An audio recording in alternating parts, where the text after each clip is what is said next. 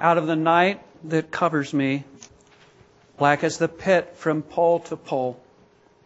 I thank whatever gods may be for my unconquerable soul.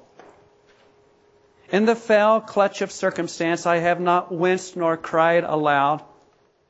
Under the bludgeonings of chance, my head is bloody but unbowed. Beyond this place of wrath and tears looms but the horror of the shade. And yet the menace of the years finds and shall find me unafraid. It matters not how straight the gate, how charged with punishments the scroll. I am the master of my fate. I am the captain of my soul. The poem is called Invictus. It was written by William Ernest Henley in 1875. The image in Invictus draws is that of the strong, self-made man. It pictures perhaps a woman independent, unashamed. This man anchored solidly to himself stands unmoved against the buffetings of this world. Firmly grasping the rudder of her own life, this woman steers her own course and seeks her own way. I am the master of my fate. I am the, am the captain of my soul. The words are so inspiring. I can see them now on a poster. But in spite of the fact they're inspiring, maybe we should stop and ask if they're true. Are we really each the masters of our fate? Are we really each the captains of our souls? Do you live independently of me? Do I live independently of you? Do the actions of others really have no bearing on our future or on our lives? An apostle named Paul answers those questions in Romans chapter 5, verses 12 through 21. If you have your Bible, turn with me to Romans 5, verses 12 through 21. Let's start with just the first three verses of our passage. In Romans 5, 12 through 14, Paul reminds us that in fact the willful choice of just one man a man named Adam, has exerted control over the life of every human being who has ever lived since. Listen as Paul reveals whether we are or aren't the masters of our own fate, the captains of our own souls. Verses 12 through 15, chapter 5 of Romans, describes the human condition, our human condition. Verse 12.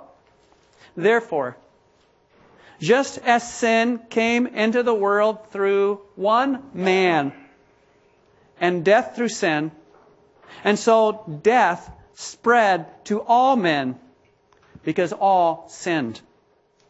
For sin indeed was in the world before the law was given, but sin is not counted where there is no law.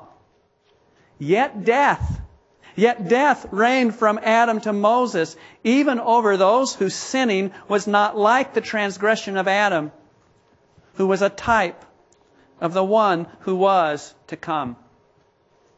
So what's the Bible say? Are you the master of your own fate? Am I the captain of my own soul? The answer is clear. No man lives unto himself. And no woman can divorce herself from the rest of humanity.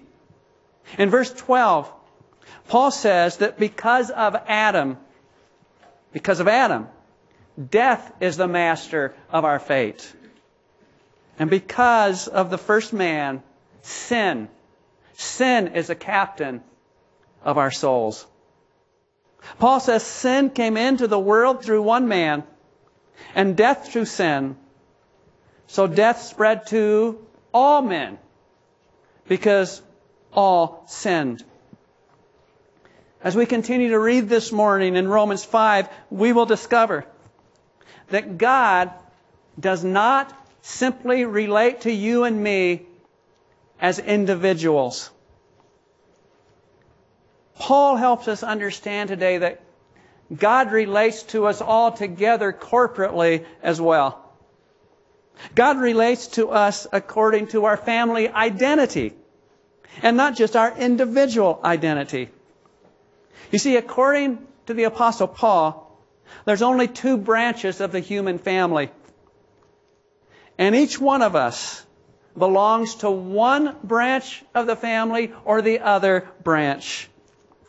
Even here today, Romans 5 reveals that each one of us are either the offspring of Adam,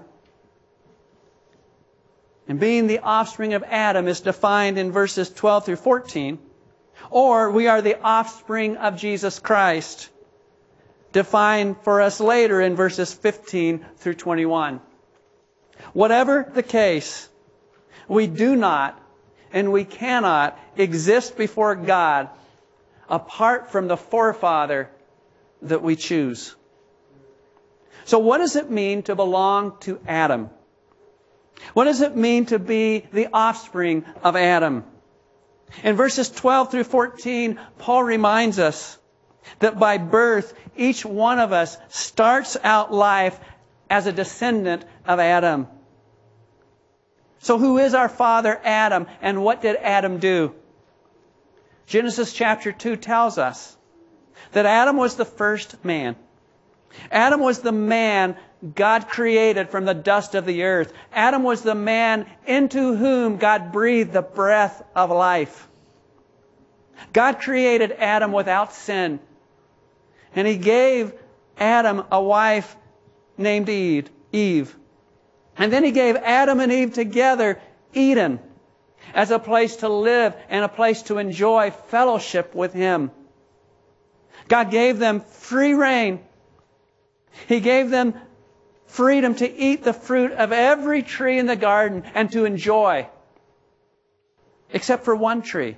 Just one tree.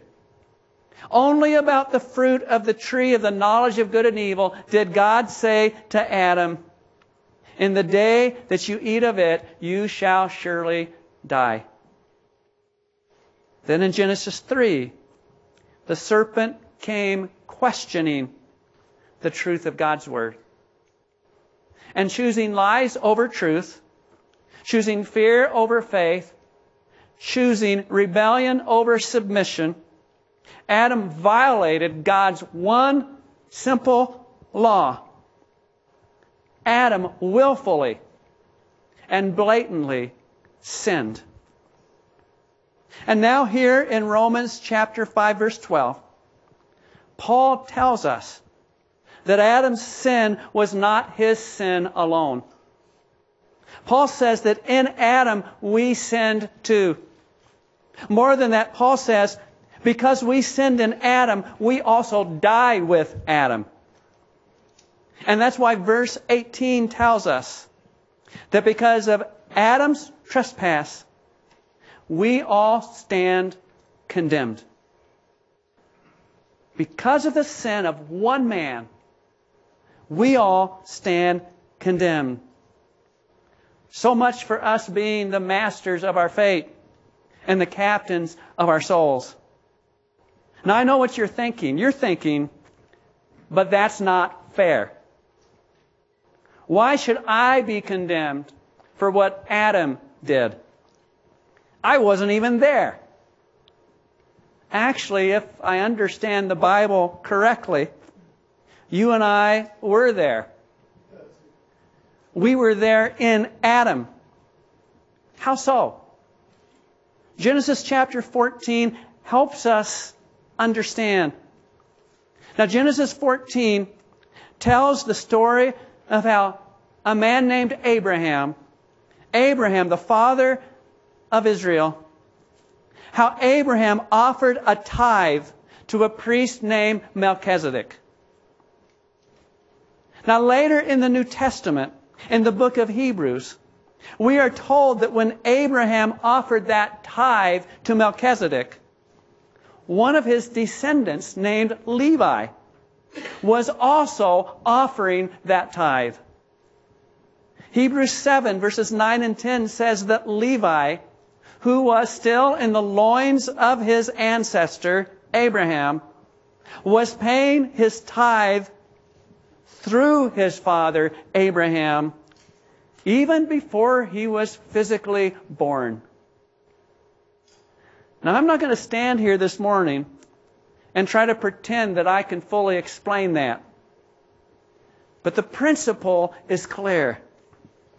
When God considers humanity, He doesn't see us as billions of disconnected individuals. When God looks at humanity, He sees us as people who, as Hebrews put it, existed in the loins of our father Adam from the very moment of creation. God sees us as belonging to Adam.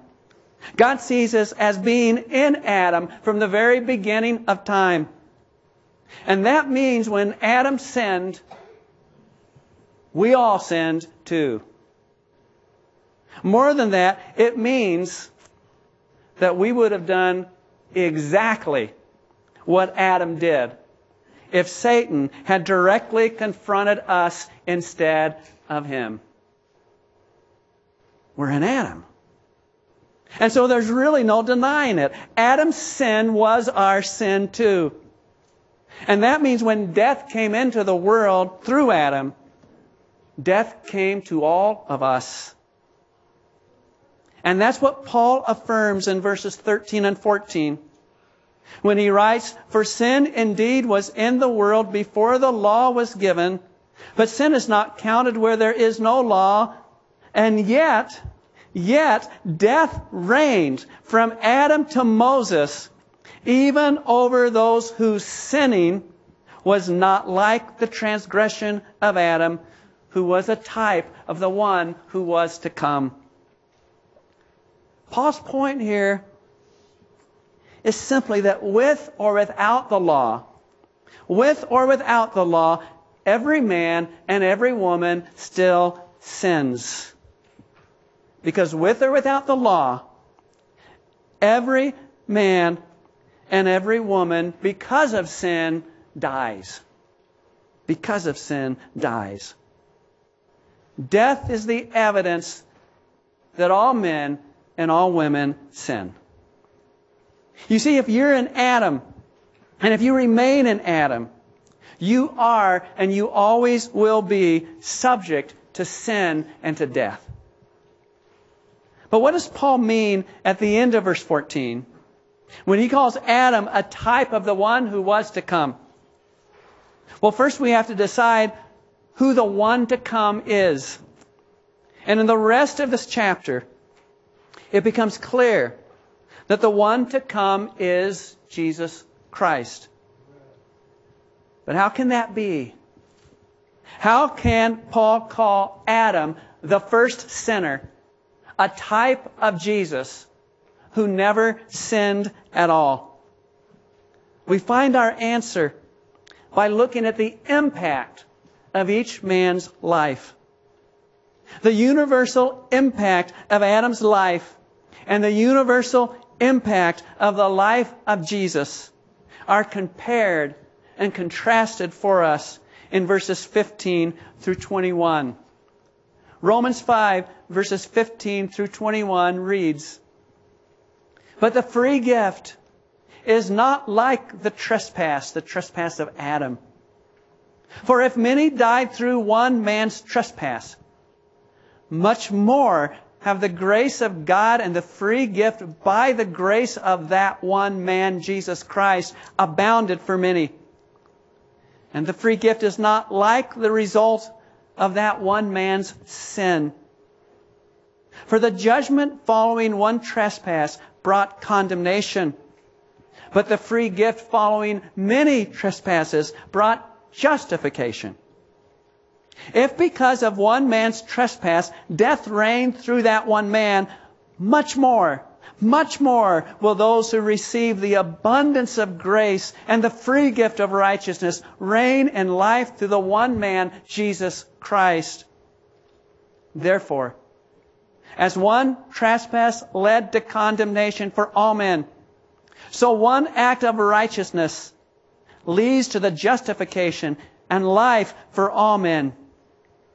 For as by one man's disobedience the many were made sinners, so by the one man's obedience the many will be made righteous. Now the law came to increase the trespass, but where sin increased, grace abounded all the more. So that as sin reigned in death, grace, grace also might reign through righteousness, leading to eternal life through Jesus Christ our Lord. Do you hear that? Adam is a type of Christ. Because in the same way Adam's trespass condemns all humanity to sin and to death. So Christ's obedience redeems a new humanity to righteousness and to life. Which brings me to the most important question you will ever answer for yourself. Today, do you live under Adam or do you live under Christ? If you live under Adam, verse 19 says that his sin makes you a hopeless sinner too. If you live under Adam, verse 17 says that death reigns over you. Here's what that means. In Adam, you are even today spiritually dead. In Adam, you have no spiritual life. In Adam, you have no relationship with God. More than that, because you are spiritually dead in Adam, the moment you die physically, you will also die eternally in hell. Scripture calls that the second death. In Adam, you will be forever separated from God and from His love. And that is why verse 18 says that in Adam, all men stand condemned. Because of Adam's trespass, all men stand condemned. But even if, even if you're in Adam today, know that you don't have to stay there. You don't have to stay in Adam. See, that's the gospel. That's the good news about Jesus. Even as we stand condemned in Adam, Paul says we can be justified in Christ. Verse 16. And the free gift, the free gift is not like the result of one man's sin. For judgment followed, for judgment following one trespass brought condemnation. But the free gift following many trespasses brought justification. And in the book of Romans, justification means being forever declared not guilty of sin. Being delivered from condemnation. But you know, moving from Adam's family into the family of Christ. It means more than simply being forgiven of your sin. In the same way we all die in Adam, Paul says we can also be made alive in Jesus Christ. Don't miss what this text says.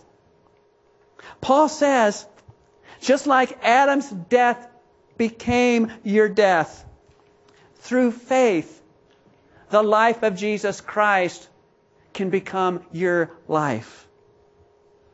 Listen again, verse 17.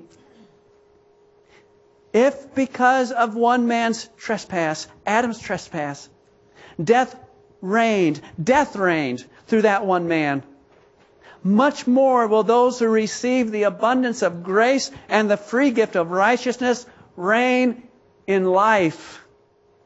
In life. Through the one man, Jesus Christ. But there's still more. Paul goes on to remind us that in the same way Adam's sin became your sin, so Christ's righteousness will also become your righteousness when you put your faith in him. Verse 19, for as by one man's disobedience the many were made sinners, so by one man's obedience the many will be made righteous. In Adam, we stand condemned. In Christ, we get justified. In Adam, we die. In Christ, we live. In Adam, we become sinners. In Christ, we become righteous in God's eyes. Either we are in Adam or we are in Christ. There is no other option. There's no in between. There's no neutrality. You're in Adam or you're in Christ. And so we learn from Paul that none of us are masters of our own fate. None of us are captains of our own souls. Every single one of us is bound. We either live under Adam or we live under Christ. Your life, your destiny is forever joined to one or the other. So to whom, to whom is your life bound today? Do you live under Adam? Through him, you are subject to the reign of sin and death. Or do you live under Christ? If Adam is your answer, are you satisfied in Adam? Are you satisfied? Or will you give your life to Jesus Christ? Do you want Christ's righteousness to become your righteousness? Do you want His life to become your life? If so, then you need to know who Jesus is, and you need to know what he did to deliver you from the dominion of Adam. Listen again, verse 18. Paul says, as one trespass, Adam's trespass, led to condemnation for all men, so one act of righteousness, one act of righteousness leads to justification and life for all men. So, what act did Jesus do to free us from the realm of Adam, the realm of sin and death? Well, the Bible says that Jesus, who is God become man, Jesus died on the cross to pay our sin penalty, and He rose from the grave to live to be our Savior, our Lord, our King, to share His life, eternal life, with us. And that means coming to Jesus means trusting only what He did for you when He died on the cross and rose from the grave. Coming to Jesus means recognizing you can't save yourself. You can't deliver yourself from the realm of sin and death. In other words, rejecting your old life in Adam for a new life in Christ means knowing that salvation comes only by grace alone, through faith alone in Him. If you take nothing else home with you today from this message, take this. It's all about grace. It's all about grace. And that's exactly what Paul tells us here in Romans 5 15 through 21. This text bleeds the grace of God. Grace oozes out of every verse almost. Listen to this. Verse 15. Verse 15, Paul declares that it's the free gift. The free gift, not the earned gift. The free gift that's not like the trespass of Adam. For, Paul says in verse 15, if many died through one man's trespass, much more have the grace of God, the grace of God, and the free gift by grace of that one man, Jesus Christ, abounded for many. Grace abounds. Verse 16. And the what? The free gift. The free gift is not like the result of one man's sin. Verse 17. If death reigned through the one man, much more will those who receive what? The abundance. The superabundance of grace and the free gift of righteousness reign in life. Verse 20. Paul says, But where sin increased, what happened? Grace. Grace abounded all the more. Verse 21. So that as sin reigned in death, grace. Grace might also reign through righteousness, leading to eternal life through Jesus Christ our Lord. Grace. Lord, help us see. Left to ourselves in Adam, we remain slaves to sin and to death. But the abounding, the overflowing grace of God in Christ, it sets us free. Grace sets us free. So if you are here today trying to be good enough to get to heaven, give it up. Give it up. Your efforts in Adam, your efforts make you more worthy of hell, not more worthy of heaven. If you're here today trying to earn your way with God by keeping the law, then you need to understand you are only making things worse for yourself. Because that's what verse 20 says outright. The law comes to increase trespass. You want to make it worse for yourself? Try keeping the law. If you seek salvation through the law, you will be forever condemned by the law. That's what Paul says here. The only way to escape your bondage to sin and to death in Adam is to receive the superabundance of God's grace and the free gift of righteousness found only in Jesus and what He did for you. What He did for you. Apart from God's grace in Jesus Christ, you are still in Adam. And if you are still in Adam, you are still in bondage to sin. If you're in Adam, you are still subject to death. And it's a death that will never end. Today is the day to come to Jesus. Isn't it time to let His life become your life?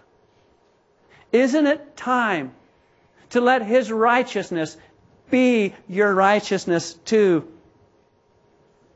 Isn't it time to drink in the abundant grace of God in Jesus?